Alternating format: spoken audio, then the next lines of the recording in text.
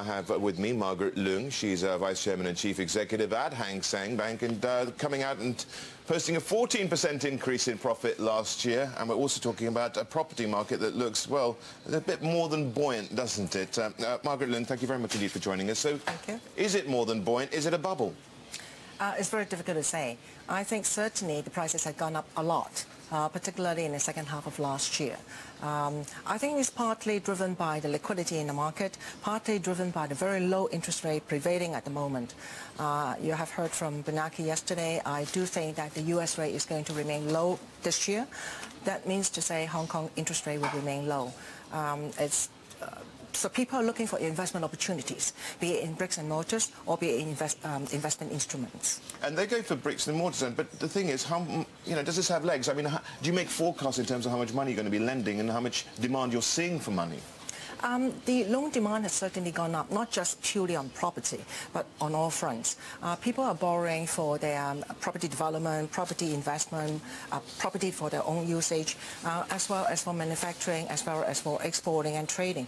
And don't forget, the uh, consumer industry is doing very well, and the, um, um, the, the, tourist industry is doing very well as well. So the loan, de loan demand in general had gone up. You know, but, uh, you know, these valuations and the criteria for these valuations, does that worry you at all, Margaret? Um, we can only see what is the demand. And at the moment, there is still strong appetite for property. And uh, the valuation that we provide is really what the market rate indicates it to be. We cannot say anything other than what is the transaction price. Um, the latest indication is that the volume is down on transactions, but on uh, the uh, price level, uh, I would say at best it's holding its own, but in certain areas it's still escalating. Let's talk, because you know, just Hong Kong, of course, you're China, and you have a growing Chinese operation. I think operating income up 24% there. You see this uh, growing, and you're adding, I think, 700 employees in China as well? No, no, no, no. 700 is Hong Kong as well as right, China. Right, okay. okay. So saying that's quite some growth there. So that's right, that expansion yeah. continues. Where, again, are you seeing the growth in China? Is it, is it uniform or certain hotspots? As far as Hang Seng is concerned, our investment in China is largely going into uh, in the Pearl River Delta and the uh, Yangtze River Delta. Uh, naturally, we are also investing in the Bohai area as well, the Beijing area. Um, but the, the, the bulk of our activity will be in the two Pearl River deltas. Our head office will be in, is in Shanghai. We have just bought uh, a property uh, head office for, our, for ourselves. We will be building out more um, uh, sub-branches in uh, the, the, south. And, and we, our aim is really not to build up branches after branches, but really to concentrate in the niche market that we are in. We believe Hang Seng had a very strong brand in terms of wealth management products and both in the manufacturing as well as in the distribution. This is the model that we want to replicate in China.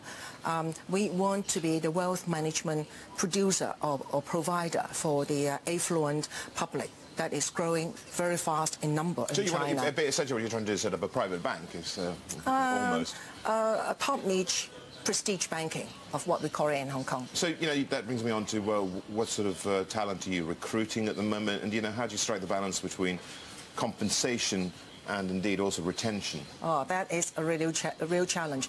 I think it's uh, no secret that the uh, number of talents in, in China is limited in number at the moment. Uh, and naturally, we need native uh, speaking uh, Chinese, and uh, at the same time they need to be fluent in English because our, all our documentations are in English as well, as well as in Chinese. So the talents that we're looking at are really local graduates or graduates returning from overseas. Um, and uh, we are seconding some people from Hong Kong as well as in uh, other parts in the world. But mainly we're training up locals. The number of secondees in comparison is much lower than our local population.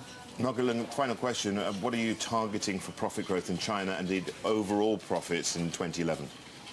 Um, we will certainly be uh, giving a lot of uh, uh, attention to our business in China, but profit in isolation in China, it's not the real target, but what we can utilize the China connection to build up the business in Hong Kong and use our Hong Kong connection to build up the business in China is the key point. And if, if they can repeat what they do this year, I'll be, uh, in 2010, I'll be very happy. So that's the target, is it? Yeah. okay, Margaret Leung, thank you very much. Thank you. The CEO there of uh, Hang Seng Bank.